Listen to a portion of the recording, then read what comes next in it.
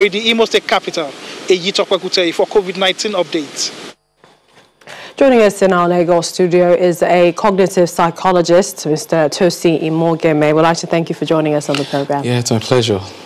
Now, in Asia, um, when the pandemic really started, we watched, we saw, we read how they talked about discipline in their activities and some of the preventive measures that they uh, took.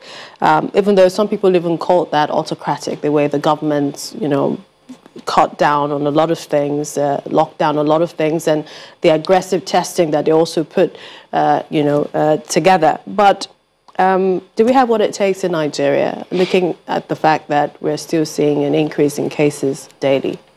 Yes, of course. I believe we strongly have uh, what it takes in Nigeria. You see, uh, even since the beginning of time, or since man has been created, it's been very difficult. Man has always fancied his freedom. So the moment you say, do not do this, that particular thing you're saying the man should not do becomes a big deal and then it becomes difficult to refrain from doing it. That's psychologically. So what you do? You need to enforce laws that will curtail behavior. That's what even happened, you know, during the time God had to say, okay, thou shalt not eat the forbidden fruit. If you do it, there will be a punishment. So without punishment, without enforcing human behavior, it becomes difficult to manage human beings. Because the truth is, as opposed to machines where you just create codes and they, you know, follow instructions. Human beings, you need to be on their neck. You need to always enforce the laws for them to comply. So I think, you know, beyond a reasonable doubt that, yes, we have what it takes. All we need is for our law enforcement agencies to be much more disciplined, to take absolute responsibility.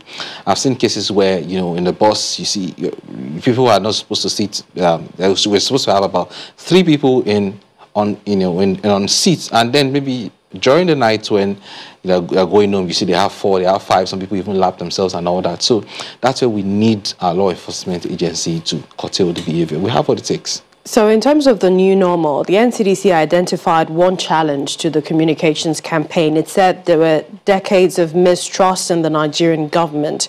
Um, looking at the efforts of the Presidential Task Force on COVID-19, do you think that that is still a challenge to Yes, it's a, it's a, major challenge because the truth is, it's just like you um, being in a marriage. If there's no trust, it cannot be a smooth relationship between husband and wife. So if your husband tells you that do not do this or do not do that, whatever he or she tells you, it becomes difficult to believe. And, you know, leadership has always uh, has always been our major challenge in Nigeria. People do not really believe the kind of leaders that we have, and we see our leaders as those who we see them as self-centered. So I think the despite the effort the PTF are putting in to ensure that things, you know, are well, you know, we adhere to the rules and regulations, Nigerians will always feel that, no, why should I trust the government that does not care about me? Now we heard about relief funds being disbursed and people, a lot of people didn't get it. In my own CDA, you know, I heard that they, you know, brought about five palliatives, and we have over 150 people. A lot of people, so you need to take this into consideration, and then we've had relief funds here and there being misappropriated. And these are things that the people are, you know, hearing. So it's easy for the leaders to say, oh, adhere to rules, because yes, they're well fed up, they they can't, you know, um, take good care of themselves. But for the average man on the street, you know that this poverty is only increased and unemployment is also, you know, increasing. The real pandemic here is no longer coronavirus. The real pandemic here is poverty. So I would rather, as a human being, you know, psychologically, I'd rather go out there and look for food for my child than watch my child die out of hunger. You know, if I cannot control, if coronavirus is something I cannot control, it's understandable that you're helpless about the situation. But that which you can't control, which is providing basic amenities, providing food and you know the necessary things for your family. If you cannot provide it, who would, as a man or as a parent, who would you would not forgive yourself if your child should die? All right. I'd like to thank you, um, cognitive psychologist Tosin Imhogiemhe. Thank you for your My thoughts pleasure. on this issue.